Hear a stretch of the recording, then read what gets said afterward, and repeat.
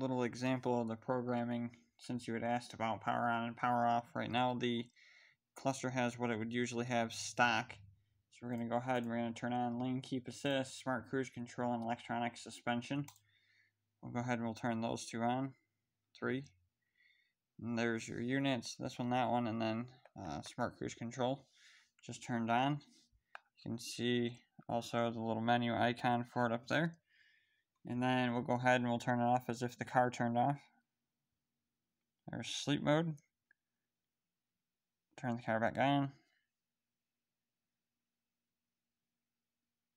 System remains. It'll give us the same warnings. Uh, TPMS.